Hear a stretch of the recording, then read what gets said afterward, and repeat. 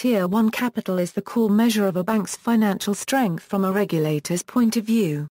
It is composed of core capital, which consists primarily of common stock and disclosed reserves, but may also include non-redeemable non-cumulative preferred stock. The Basel Committee also observed that banks have used innovative instruments over the years to generate Tier 1 capital.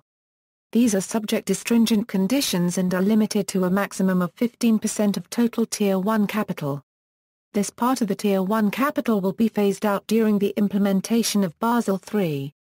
Capital in this sense is related to, but different from, the accounting concept of shareholders' equity.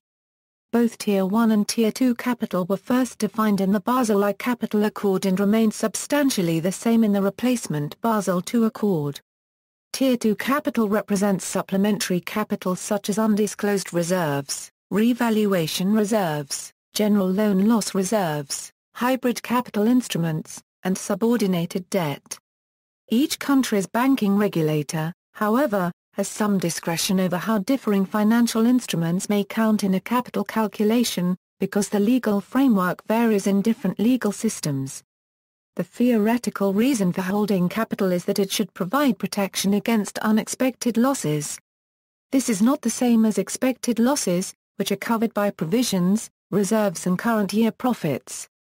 In Basel I agreement, Tier 1 capital is a minimum of 4% ownership equity but investors generally require a ratio of 10%. Tier 1 capital should be greater than 150% of the minimum requirement. Tier 1 capital ratio The Tier 1 capital ratio is the ratio of a bank's core equity capital to its total risk-weighted assets. Risk-weighted assets are the total of all assets held by the bank weighted by credit risk according to a formula determined by the regulator. Most central banks follow the Basel Committee on Banking Supervision guidelines in setting formulae for asset risk weights. Assets like cash and currency usually have zero risk weight, while certain loans have a risk weight at 100% of their face value. The BCBS is a part of the Bank of International Settlements. Under BCBS guidelines total RWA is not limited to credit risk. It contains components for market risk, and operational risk. The BCBS rules for calculation of the components of total RWA have seen a number of changes following the financial crisis of 2007 Euro 08. As an example, assume a bank with $2 of equity receives a client deposit of $10 and lends out all $10. Assuming that the loan, now a $10 asset on the bank's balance sheet, carries a risk weighting of 90% the bank now holds risk-weighted assets of $9. Using the original equity of $2, the bank's Tier 1 ratio is calculated to be $2/$9 or 22%.